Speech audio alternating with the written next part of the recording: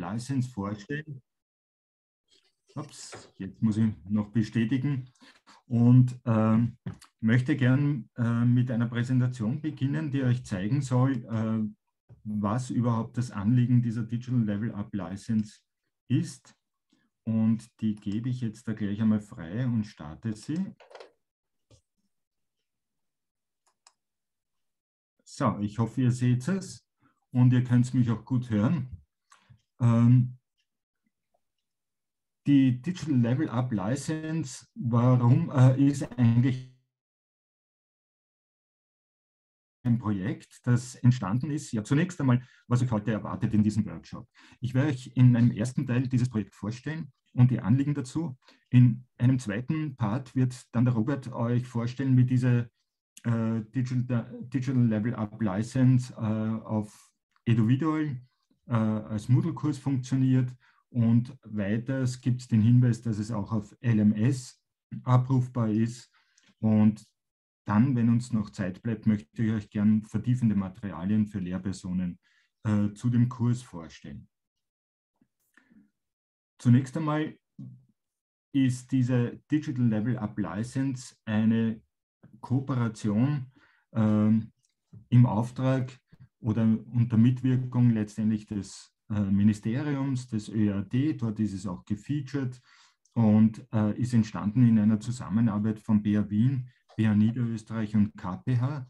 Und das Ziel ist eben äh, diese Geräteinitiative äh, didaktisch zu begleiten. Also die Implementierung der Geräte und das erste Umgehen damit äh, eben auch didaktisch anzuleiten. Und deshalb gibt es äh, in dieser Digital Level Up License auch so Art Kompetenzkataloge, aber eben auch viele Anregungen und äh, Arbeitsblätter und Videos, Erklärvideos und äh, Links, die ich euch gerne vorstellen möchte. Also, wir haben einerseits gratis Material für euch verfügbar, also unter Creative Commons Lizenz, äh, OER, dann didaktische Unterstützungen, eben äh, adaptierbare äh, Möglichkeiten für euch, sodass ihr das immer zielgerichtet für eure äh, Klassen, eure Schule anpassen könnt und äh, eben zahlreiche Impulse und Anregungen. Welche Materialien behält es, äh, beinhaltet also diese License? Es ist eine, einerseits geht es um Checklisten, äh, die man abhaken kann. Äh, es gibt eben Arbeitsblätter, Lösungsblätter und Erklärvideos, Urkunden, und äh, Linksammlungen. Und äh, es besteht aus drei Levels, die die Schülerinnen und auch damit die unterrichtenden Lehrerinnen bei der Implementierung begleiten sollen. Es fängt an mit dem Level 1, wo es vor allem darum geht, äh, auch einmal das Gerät in Betrieb zu nehmen, zu nutzen, die Basisfunktionen kennenzulernen und zu vertiefen. Äh, Im zweiten Level geht es vor allem auch um äh, Texte und Standardsoftware zu verwenden, aber auch eben Apps für den Unterricht und im dritten äh, dann vor allem auch um das Kooperative und Medienerstellung, wie ich euch gleich zeigen werde. Äh, vielleicht noch eines dazu, die, die Kids können einfach diese Levels durchmachen erhalten pro Level auch eine Urkunde und äh, erwerben so nach allen Levels dann diese Digital Level Up License für sich.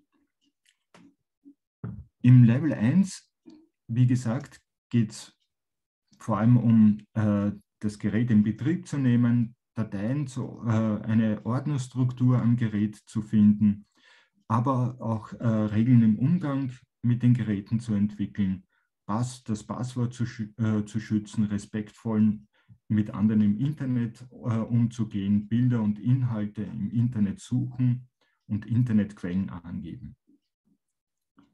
Im zweiten stehen vor allem eben die, äh, äh die Standardsoftware im Fokus, aber eben auch mit dem Gerät üben, Aufgaben erledigen, Apps für den Unterricht verwenden, mit Lernplattformen zu arbeiten, und sich mit anderen online auszutauschen und im Level 3 eben vor allem auch äh, die Sachen aus den beiden ersten Leveln zu vertiefen, aber eben äh, besonders kooperativ zu arbeiten und eben die Medienerstellung. Pro Level gibt es drei Bereiche, äh, die wir als Zusammenspiel sehen. Und zwar der erste Bereich ist eben dieser technische Bezug, der sich auf die Bedienung des Geräts und auf die Möglichkeiten der Geräte richtet. Der zweite Bereich, das ist der soziale Bezug, da geht es vor allem um Regeln und Verhaltensweisen, um Workflows, um Vereinbarungen im Umgang mit den Geräten. Und im dritten Bereich äh, geht es vor allem um die Inhaltsdimension, äh, wie setze ich, wie kann ich das Gerät im Unterricht gut einsetzen. Und diese drei Bereiche prägen jeweils ein Level der License. Es gibt ein Teaser-Video dazu, das euch auch das äh, vorstellen äh, stellt und das möchte ich euch einfach gerne mal zeigen. Hier findet ihr noch einmal alles zusammengefasst ähm, und ich. Willkommen zur Digital Level Up License. Ich schaue mal, dass ich das gleich auf YouTube öffne, denn da haben wir... This is Monday.com CRM. a CRM you'll actually want to use. Capture and collect all your leads in one place. So, ich hoffe, dass ich das im Vollbildmodus kriege. So, jetzt. Der Checkliste für den Umgang. Ähm, Michael, wir sehen, glaube ich, noch die Präsentation, also ich zumindest. Ihr seht es nicht, hoppala, dann muss ich. Aber äh, es hat in der Präsentation funktioniert zum Abspielen. Ja, ja dann mache ich in der Präsentation, ja. Äh, ich gehe noch einmal in die Präsentation rein und ähm, gebe das noch einmal frei. Hoppala. Jetzt muss ich da zuerst aussteigen, leider Gottes, äh, damit ich zu uns wiederkomme. So, die Freigabe der Präsentation. Hoppala. So, ich gehe noch einmal eins zurück und starte das. Und jetzt solltet ihr das dann sehen können. Willkommen zur Digital Level Up License, der Checkliste für den Umgang mit deinem neuen mobilen Gerät. Mithilfe dieser Checkliste erwirbst du digitale Kompetenzen und kannst herausfinden, wie du dein Gerät bedienen kannst, welche Funktionen es hat, wie du mit Programmen und Apps gut lernen kannst und welche Regeln du einhalten musst. Hake deine erreichten Kompetenzen ab und komm so ins nächste Level. Bei manchen Aufgaben gibt es auch noch extra Badges und sogenannte Social Badges zu gewinnen, wenn du schon so gut mit deinem Gerät umgehst, dass du auch anderen helfen kannst. Die drei Farben, die du immer wieder in den Checklisten findest, stehen für drei verschiedene Kompetenzen. Grün steht für die Bedienung deines Gerätes, Rot für Regeln und soziales Lernen und Blau steht für alles, was mit Programmen und Apps zu tun hat. In der Checkliste sind Arbeitsblätter, Erklärvideos und Links zu interessanten Webseiten verlinkt, mit denen du in der Schule oder auch zu Hause arbeiten kannst.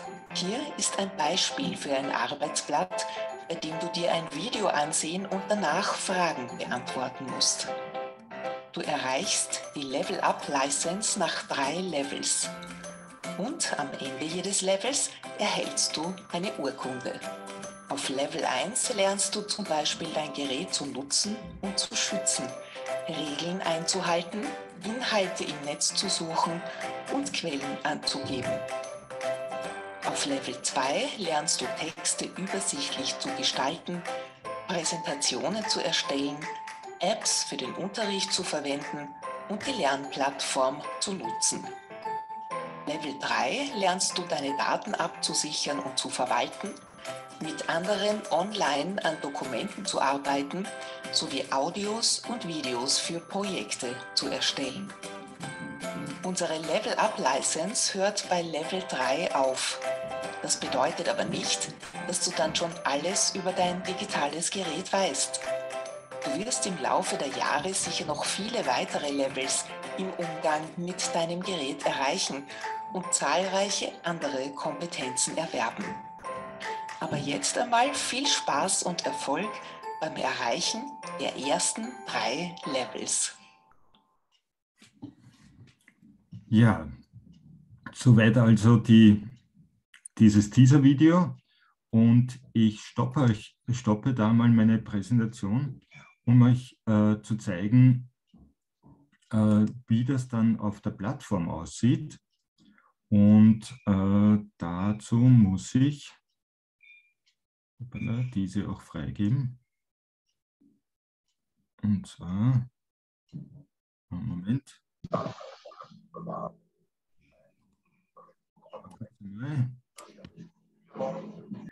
Aus.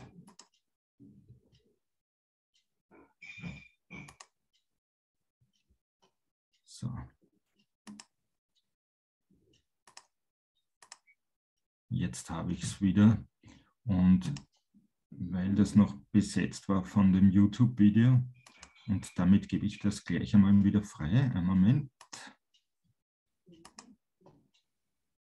So. Gut. Ähm, ihr findet diese Seite auf ÖRD, Digitales Lernen, und ich poste gleich einmal ähm, das in den Chat. Für euch. So. Und ähm, ihr findet hier einerseits einmal dieses Teaser-Video, ihr findet auch noch einmal die Erklärung dafür. Das ist jetzt die Seite, die man gleich auch mit den Schülerinnen verwenden kann. Und ihr findet auf dieser Seite auch zu den einzelnen Levels eben diese Checklisten die man als PDF interaktiv ausfüllen kann und äh, ebenso die Urkunden, die ihr verwenden könnt. Das seht ihr da zu den einzelnen Levels. Äh, vielleicht eines noch dazu gleich, also noch einmal, diese Digital Level Up License ist gedacht für die didaktische Implementierung noch einmal äh, der Geräte.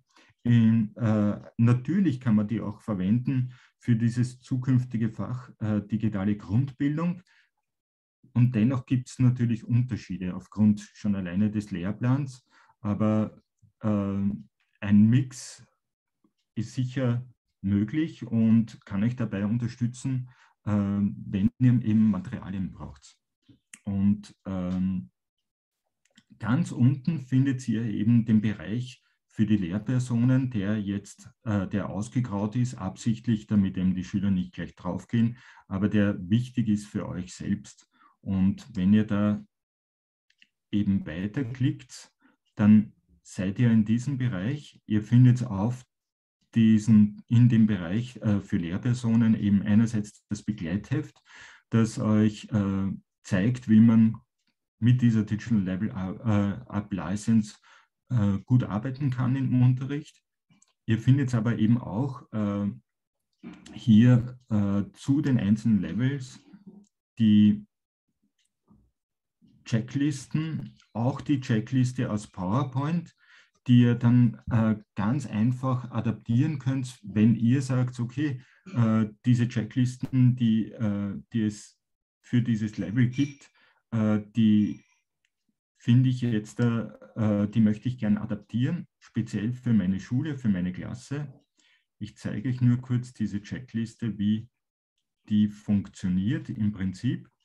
Und ihr seht da eben für diese einzelnen Bereiche die Kompetenzen angeführt und eben äh, für die Schülerinnen die Möglichkeit, das hier auch interaktiv auszufüllen wenn Sie das erledigt haben. Dazu gibt es eben diese Arbeitsblätter und Links, die sind äh, sehr unterschiedlich, je nachdem, äh, was hier auch an Kompetenzen verlangt wird. Und ähm, wenn ich da wieder zurückgehe, dann, ja, und außerdem findet ihr, Entschuldigung, noch einmal hier, wenn ich noch einmal da drauf gehe, ich öffne das noch einmal gleich, äh, wenn wir zum Beispiel äh, etwas haben wie, äh, wie suche ich im Internet,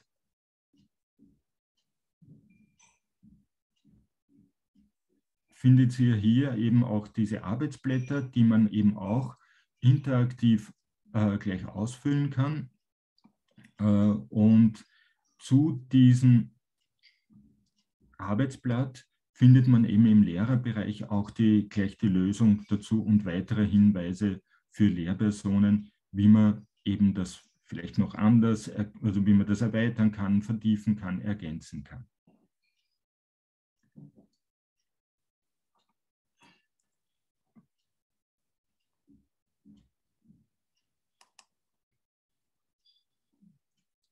Weiter unten findet man dann auch weitere Vertiefungen für Lehrpersonen, auf die ich später noch eingehen werde.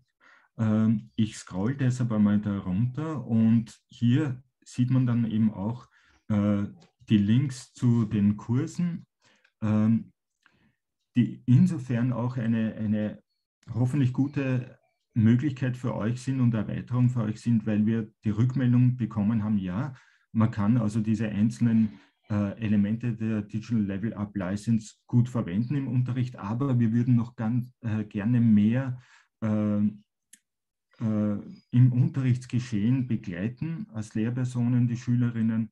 Und das ist natürlich toll in dieser Kursform möglich. Und ich freue mich, dass wir da eine gute Kooperation auch gefunden haben mit EduVisual und mit Robert Schrenk und das für euch hoffentlich gut umgesetzt haben, auch als Kursform.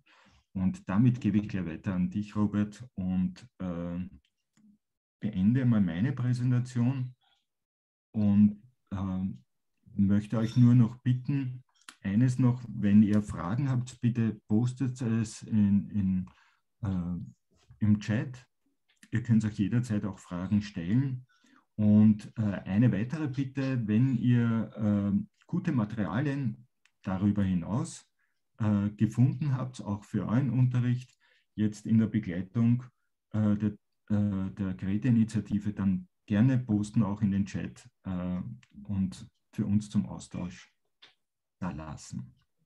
Gut, damit gebe ich einmal, stoppe ich einmal meine Präsentation und gebe an dich weiter. Vielen Dank für die Anmoderation auch. Ähm, also auch von mir herzlich willkommen zu unserem Workshop hier. Äh, wie der Michael schon erläutert hat, bin ich zu diesem Projekt äh, dazu gestoßen, äh, aufgrund dieses Wunsches, dass diese Digital Level Up License auch in individual verfügbar sein sollte als Kursvorlage. Und ich habe dann gemeinsam mit den Mitarbeiterinnen von der Pädagogischen Hochschule Wien, also dem Michael und der Petra Schutschig, im Wesentlichen diesen Kurs gestaltet. Äh, worum geht es denn dabei, wenn wir das äh, in individual ablegen? Ähm, der Michael hat es, glaube ich, schon noch in einem Nebensatz erwähnt. Letztendlich geht es darum, dass die Lehrerinnen eine bessere Möglichkeit haben, die Schülerinnen digital zu begleiten. Äh, das heißt, ihnen Feedback zu geben auf ihre Leistungen, dass es eine Übersichtlichkeit gibt über den Leistungsfortschritt der jeweiligen Schülerinnen. Das ist einmal eine wichtige Grundbedingung. Wir haben aber darüber hinaus auch den Kurs mit Zusatzfunktionen ausgestattet, äh, die ein wenig die Motivation der Schülerinnen steigern sollen. Und äh, ich werde jetzt äh, zeigen, wie dieser Kurs in individuell aufgebaut ist und genutzt werden kann und auch die verschiedenen Varianten, wie man ihn in den eigenen Unterricht integrieren kann.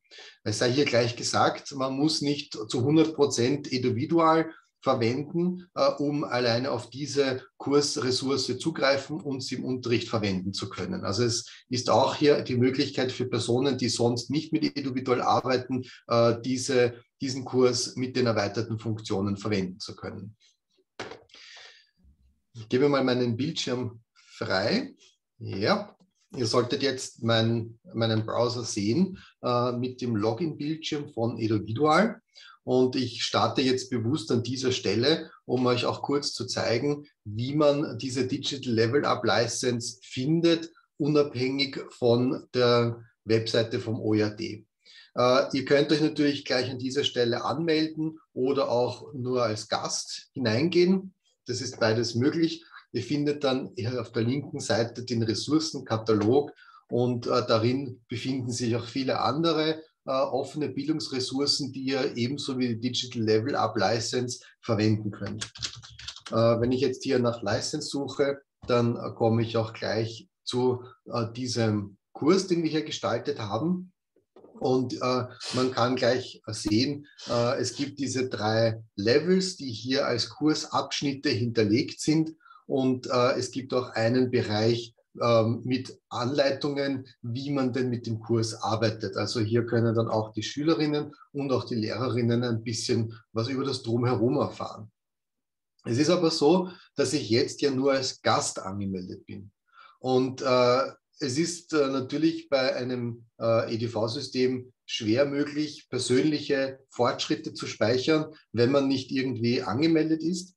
Deswegen bekommt man hier auch diese Information eingeblendet, äh, dass man eigentlich jetzt als Gast nur alles anschauen und abrufen kann, aber natürlich nicht, nicht eigene Inhalte hochladen kann oder auch nicht die Checkliste verwenden kann. Äh, wenn man das möchte, dann benötigt man ein Nutzerkonto in Eduvidual und äh, das kann man äh, einfach bei diesem Login-Bildschirm bekommen, indem man über ein Microsoft-Konto, ein Google-Konto, über das Portal Digitale Schule einsteigt oder sich eben ganz gewöhnlich registriert. Nachdem man sich angemeldet hat, also ich werde mich jetzt äh, anmelden,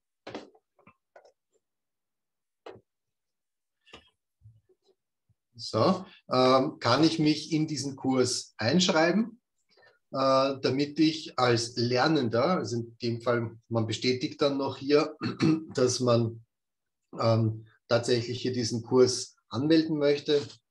Jetzt bin ich eingeschrieben und äh, man sieht jetzt hier, dass auch auf der rechten Seite neue Funktionen dazugekommen sind, die vorher nicht da waren. Und äh, ich habe jetzt nämlich hier einen Fortschrittsbalken dazu bekommen. Das heißt, ich habe hier als, also ich bin jetzt hier Lernender in diesem Kurs. Ich sehe hier, äh, welche Aufgaben schon erledigt sind, welche noch nicht erledigt sind.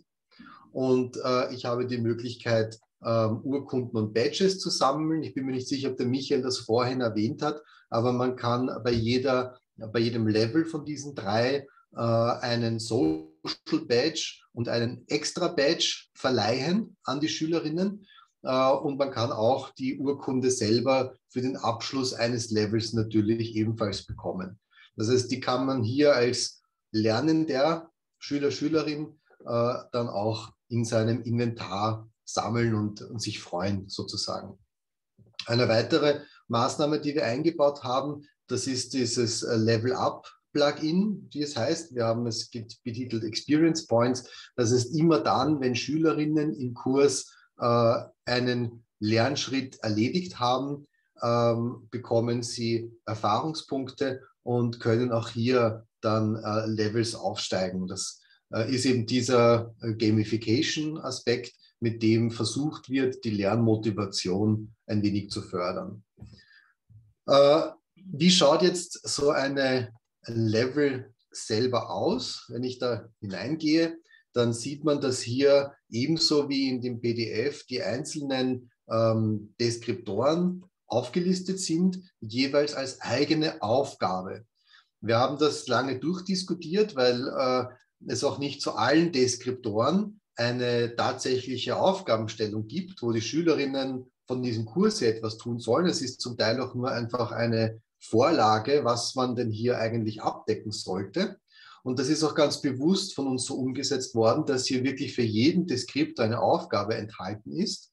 Denn äh, es muss ja nicht das gesamte Lernen digital stattfinden. Es heißt ja nicht, dass die Schülerinnen immer alles ähm, digital hier machen müssen oder eventuell auch nicht immer alles in Eduvidual machen müssen. Es kann ja auch dann abseits von Eduvidual etwas gemacht werden.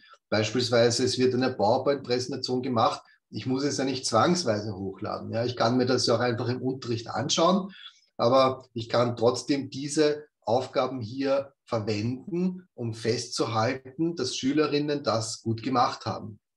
Und die Schülerinnen können hier auf der rechten Seite selbstständig äh, abhaken. Also wenn ich jetzt hier sage, das ist erledigt, ein Häkchen und es ist äh, damit fertig und dann auch in diesem Fortschrittsbalken erledigt.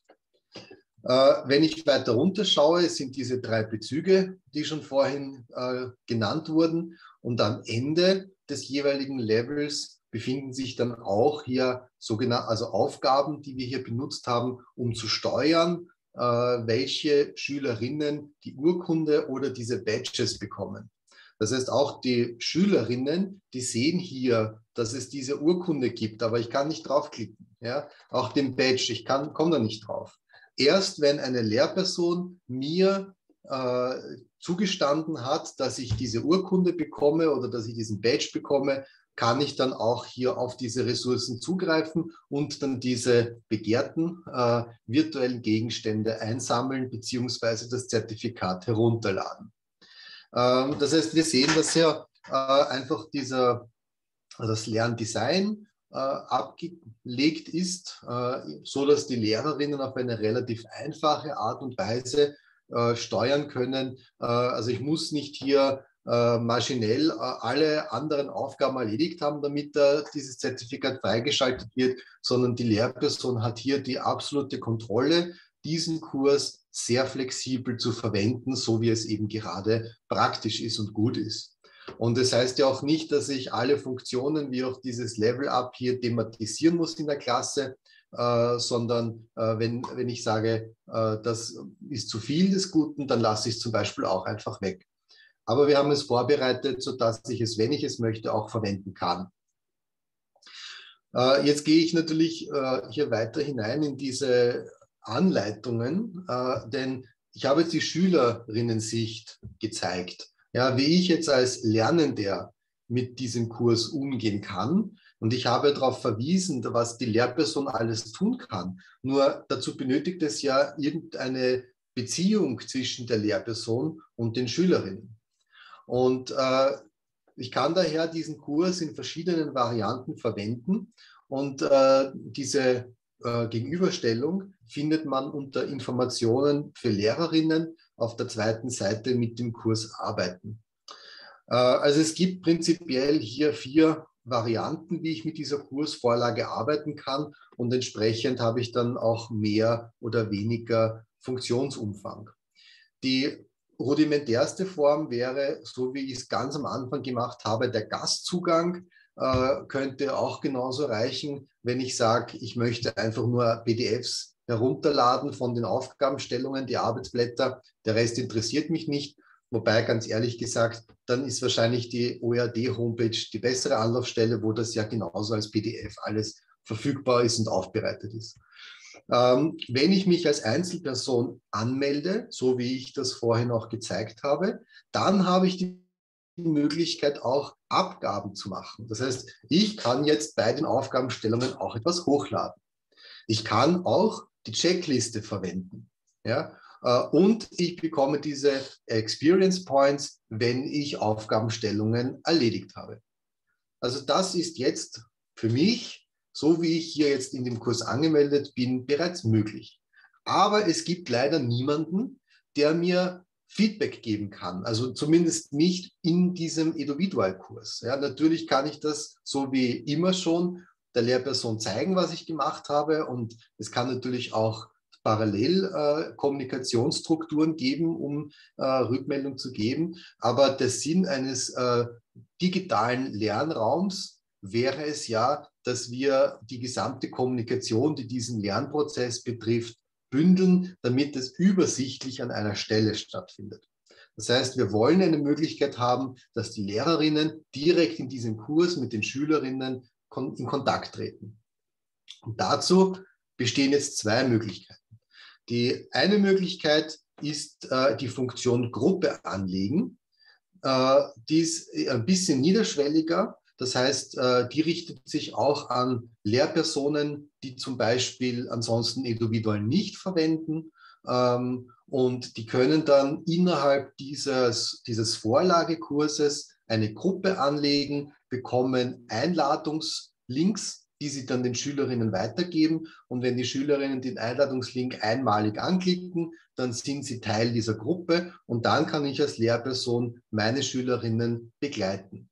Das heißt, ich bekomme dann die Funktion dazu, dass ich die Lernfortschritte der Schülerinnen sehen kann, dass ich Feedback und Bewertungen abgeben kann und die Badges und die Urkunden abgeben kann äh, und dass ich äh, auch in Microsoft Teams einbetten kann. Es ist ganz unangenehm, ich muss leider nur kurz äh, an meine Tür gehen. Äh, ich bin sofort wieder da.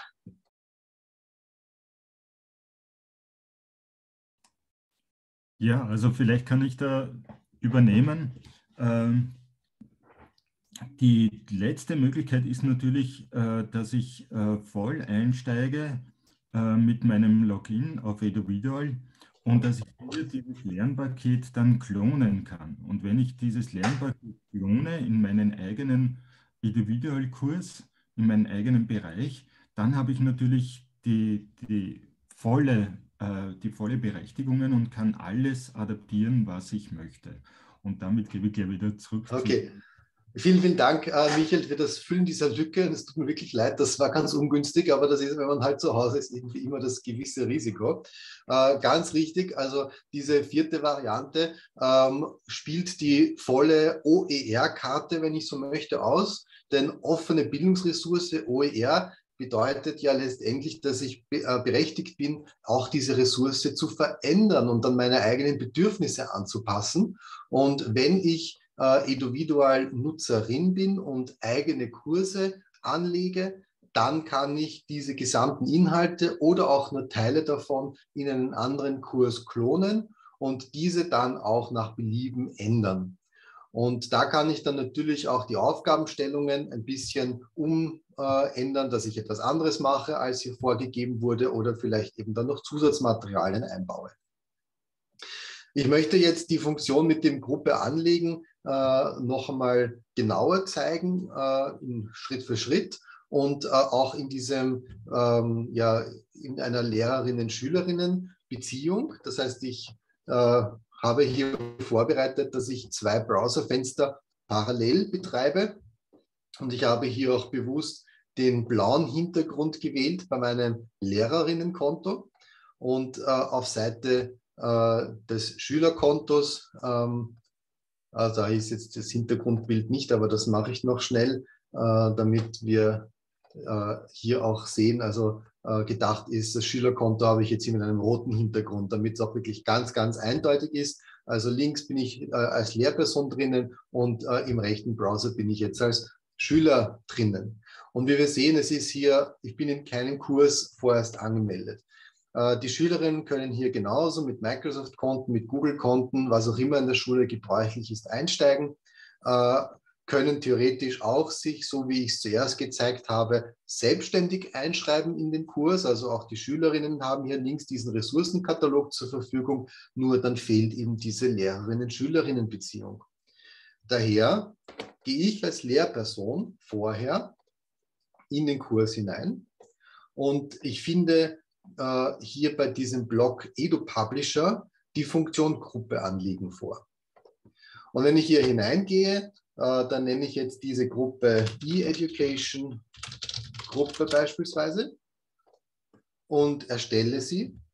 Und äh, mit diesem Zeitpunkt bekomme ich hier einen Einladungslink für Schülerinnen und einen Einladungslink für Lehrerinnen. Ähm, Wofür der für die Schülerinnen ist, ist eh klar. Ja? Und äh, für die Lehrerinnen ist der Hintergrund, dass ich beispielsweise, wenn ich in einem Lehrerinnen-Team arbeite und wir gemeinsam Schülerinnen betreuen, dann kann ich natürlich hier auch Kollegen und Kolleginnen in diese Gruppe einladen, damit wir gemeinsam mit den Schülerinnen arbeiten können. Wichtig ist aber zu wissen, dass diese Funktion Gruppe anlegen nur für Lehrerinnen aus österreichischen Schulen zur Verfügung steht. Und deswegen, weil es könnte sich ja jeder individuell registrieren. Und das können wir natürlich nicht äh, verantworten, dass das weltweit jeder machen kann, der will. Deswegen ist es eben beschränkt auf Lehrerinnen österreichischer Schulen. Und deswegen muss die Schule entweder individuell registriert sein, damit hinterlegt ist, dass ich dort eine Lehrperson bin, oder ich muss diese Funktion Gruppe anlegen mit dem E-Education-Konto äh, ja, aufrufen. Das heißt, äh, man meldet sich dann halt als Lehrperson mit äh, Microsoft an und verwendet das E-Education-Konto zum Beispiel. Dann kann ich diese Funktion Gruppe anlegen auch aufrufen. Und wenn ich aber mit einem anderen Konto eigentlich arbeiten möchte, dann könnte ich auch diesen Einladungslink für Lehrerinnen verwenden und mich selber einladen mit dem Nutzerkonto, das ich eigentlich verwenden will. Aber äh, ich denke, man, man kann auch, wenn man möchte, einfach mit dem E-Education-Konto dann arbeiten. Das heißt, diesen Link für die Schülerinnen hier, äh, den gebe ich den Schülerinnen weiter. ich weiß nicht, per E-Mail, in Microsoft Teams oder was auch immer wir verwenden an der Schule. Ich kann natürlich auch genauso den QR-Code hier kopieren und auf ein Arbeitsblatt geben, äh, ganz nach Belieben. Und die Schülerinnen müssten nur einmalig diesen Link aufrufen und dann sind sie sofort eingeschrieben in dem Kurs und sie gehören auch jetzt zu meiner Gruppe, die ich hier erstellt habe. Das heißt, äh, die Schülerinnen haben jetzt hier alles zur Verfügung, um lernen zu können. Und äh, ich habe die Möglichkeit, hier meine Schülerinnen entsprechend zu begleiten. jetzt müsste ich eigentlich, wenn ich auf Überblick Teilnehmer gehe, so, ähm, ja, da sehe ich den Schrenk Robert Schüler und ich sehe, dass der Schrenk Robert Schüler noch nichts gemacht hat. Ja, gut soweit. Ähm, jetzt sage ich den Schülerinnen, okay, also bitte macht mal hier diese Übung T2. Ich kann eine Präsentation erstellen. Die Schülerinnen klicken hier drauf, sagen, ich möchte eine Abgabe hinzufügen und äh, laden dann hier ihre Lösung hoch. Ich habe da etwas vorbereitet dafür. Und jetzt steht da schon, okay, es wurde zur Bewertung angenommen, aber äh, es ist halt noch nicht bewertet. Was hat sich für mich als Schüler oder Schülerin ansonsten getan? Es hat sich außerdem hier die Aufgabe abgehakt. Also ich habe das jetzt ähm, erledigt, diesen Punkt. Die Lehrperson, ja, wenn ich jetzt hier wieder auf die Seite nach links gehe zur Lehrperson, das war bei Level 2, 2 T, T2, dann sehe ich hier, okay, es wurde etwas abgegeben, äh, ich möchte das jetzt bewerten. So den Schrenk Robert Schüler bewerte ich hier. Es wird äh, im Hintergrund eine, äh, eine PDF-Datei erzeugt. Äh, das dauert ein paar Sekunden normalerweise nur, wenn überhaupt. Und äh, ich kann jetzt hier also mir anschauen, was hat hier dieser Schüler, diese Schülerin abgegeben. Ich habe die Möglichkeit, direkt hier hineinzuzeichnen, äh, beziehungsweise ich kann auch gewisse Stempel ähm, hier, ja, hier ist es, äh, zum Beispiel hineingeben und ich kann genauso mit Kommentaren arbeiten und sagen, okay, da hast du gut gearbeitet oder wie auch immer. Das heißt, ich kann hier einmal direkt ins PDF mein Feedback hineingeben. Ich kann auch verbales Feedback hier abgeben in diesem Textfeld, aber am besten ohne Tippfehler. Und äh, die ja, es ist die wichtigste, würde ich jetzt nicht sagen, ja, aber eine sehr wichtige Form des Feedbacks ist jetzt hier die Feststellung, ob diese Kompetenz nun vorhanden ist oder nicht. Ja, und äh, wir haben ja auch bewusst entschieden, dass man jetzt nicht irgendwie mit Punkten arbeitet, sondern es ist ein, die Schülerinnen können das jetzt oder sie können es eben nicht. Und äh, in dem Fall sage ich, okay, äh, dieser Robert Schrenk-Schüler, der kann das. Ich kann dann noch hier bestimmen, ob die Schülerinnen benachrichtigt werden über diese Bewertung, die ich hier gemacht habe oder nicht. Und äh, dann speichere ich einfach mal meine Bewertung hier. Ja, damit ist das jetzt erledigt. Und äh, auf der Seite von meinen Schülerinnen sehe ich hier, der Robert Schrenk hat bewertet, dass du die Kompetenz hast er hat ja auch eine Anmerkung im PDF hinterlassen und da kann ich jetzt auch hier ganz genau mir diese Anmerkungen, die ich im PDF hinterlassen habe, anschauen. So, okay. Und nach demselben Schema funktioniert es nun auch, äh, dass ich als Lehrperson einen Badge oder ein Zertifikat verleihe. Das heißt, äh, ich gehe jetzt auch hier beispielsweise beim Level 2 ganz nach unten und sage, okay, ich möchte jetzt dem Robert Schrenk-Schüler eine Urkunde verleihen. Ich kann das entweder in dieser Einzelbewertungsansicht machen, ist aber in dem Fall wahrscheinlich sinnvoller zu sagen, ich möchte alle Abgaben anzeigen und äh, ich sehe jetzt hier den Robert Schrenk-Schüler und ich kann auch hier direkt in der Liste sagen, äh, okay, die Urkunde ist erfolgreich abgeschlossen. Da kann ich natürlich dann auch gleich äh, vielen Schülerinnen auf einmal äh, diese, äh, diese Bewertung zuweisen. Wenn ich möchte, kann ich auch hier noch ein textuelles äh, Kommentar abgeben. Ja, und dann sage ich Bewertungsänderungen sichern und damit habe ich die Urkunde verliehen. Wenn ich jetzt wieder zurückwechsle zu meiner Ansicht als Schüler, Schülerin, dann ist jetzt hier diese Urkunde nun verfügbar geworden. Und wenn ich draufklicke, also dann äh, hier erscheint eigentlich dieses äh, digitale Item, das habe ich aber gesammelt schon, weil ich habe dasselbe Nutzerkonto gestern verwendet bei einer E-Lecture. Also normalerweise könnte ich jetzt hier diese Urkunde auch sammeln als Grafik, aber ich kann auch das Zertifikat mir anzeigen und dann beispielsweise ausdrucken. Das wird halt automatisch befüllt mit dem Namen und dem Datum. Vielleicht zeige ich dann noch einen, die Vergabe von einem Badge her, damit man das Sammeln noch sieht. Also ich verleihe jetzt meinem Schüler auch noch den Social Badge.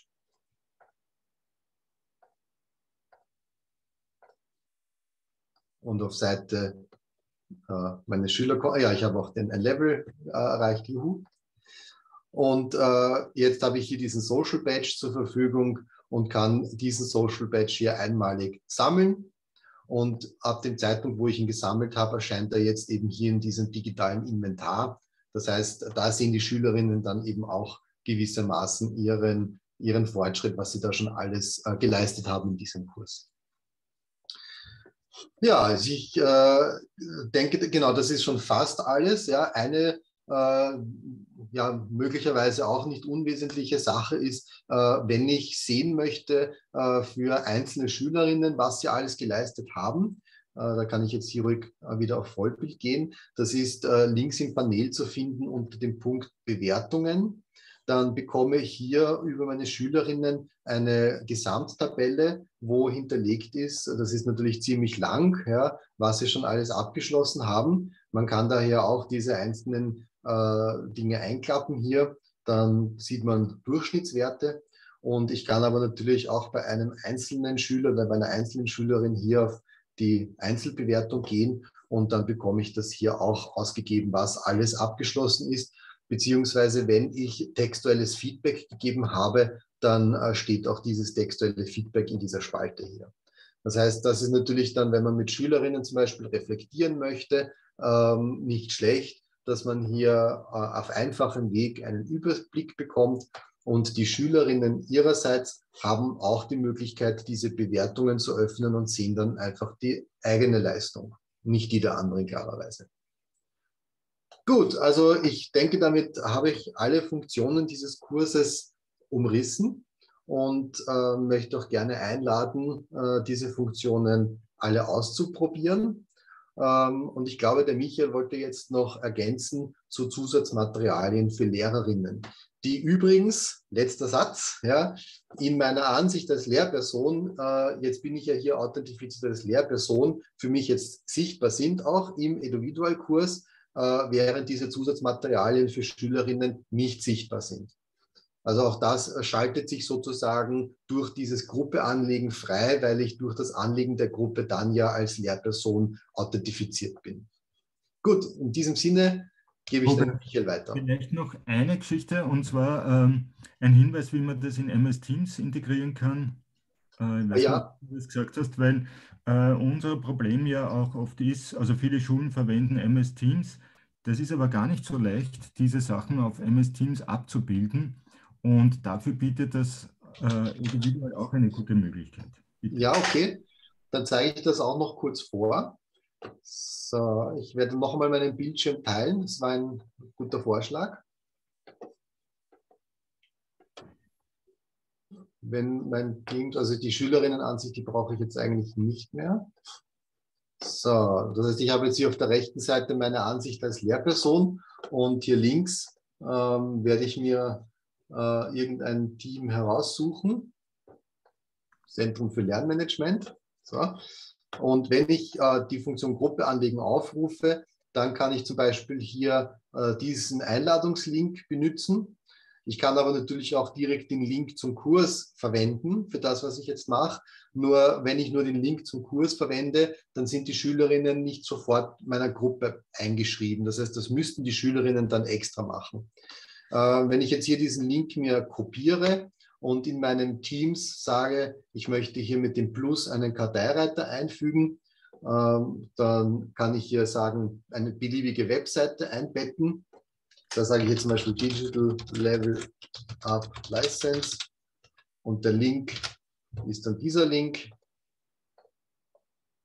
Und ab dem Zeitpunkt äh, ist das dann hier drinnen. Die Schülerinnen müssen äh, dann möglicherweise natürlich hier trotzdem sagen, okay, ich melde mich an mit dem Microsoft-Konto, ist aber so in, innerhalb von Microsoft Teams, dass ich ja eh automatisch schon angemeldet bin. Das heißt, ich muss ja eigentlich nur bestätigen, dass ich tatsächlich das will und äh, bin jetzt auch automatisch hier eingeschrieben. Das heißt, ich bin jetzt hier in dieser Microsoft Teams Umgebung und habe aber eingebettet diesen Eduvidual-Kurs, kann also sofort hier hin und her wechseln ähm, und ähm, so, da, da ist er, Digital Level Up License, kann ja also auch dann sofort lernen und als Lehrperson, wahrscheinlich sehe ich jetzt äh, ein drittes Konto im Bund, also nein, das bin ich, weil dieses selbe Konto hier. Aber das heißt, ich würde dann auch natürlich sofort als Lehrperson die Schülerinnen sehen. Und ich kann natürlich auch in den Microsoft Teams, äh, ich bin jetzt hier die Lehrperson, auch gleich meine Schülerinnen entsprechend begleiten. Also das äh, ist dann wirklich mehr oder weniger integriert ins Microsoft Teams.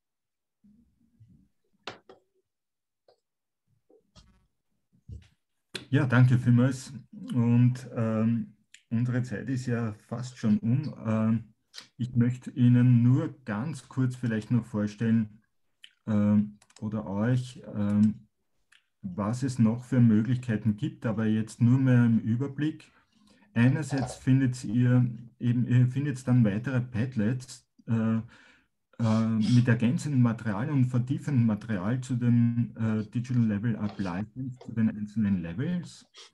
Und äh, ihr findet auch viele Anregungen, Apps und Tipps für den Fachunterricht, die wir versucht haben äh, äh, zu strukturieren nach bestimmten Fachbereichen.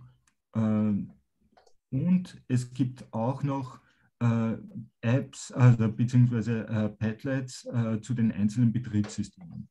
Also äh, jede Menge Material, um äh, Sachen noch zu vertiefen für euch, für die Schülerinnen mit weiteren Anregungen. Und damit hoffen wir, euch ein umfassendes Paket zur Verfügung zu stellen, mit dem ihr einfach gut hoffentlich im Unterricht arbeiten könnt, im Team, im Lehrerinnen-Team, aber auch im, mit den Schülerinnen.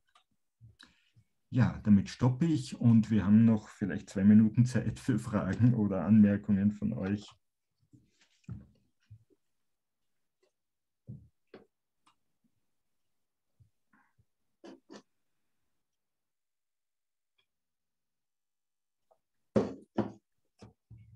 Derzeit keine Fragen gibt. Also ich hoffe, ihr seid sprachlos von den Möglichkeiten, freut euch auf den Einsatz.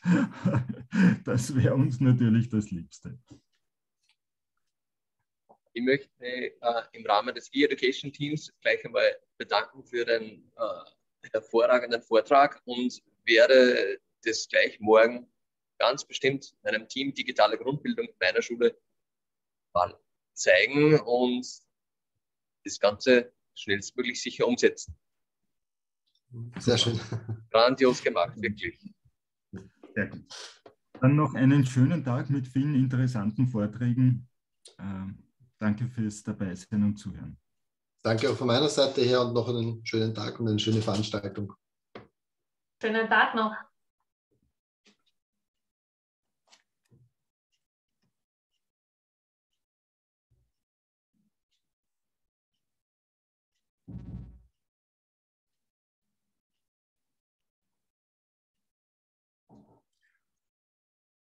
Gut, Hannes. Äh, ich hoffe, es hat soweit gepasst und dann verabschiede ich mich auch und wünsche dir auch noch einen schönen Tag. Super gemacht. Danke, Michael.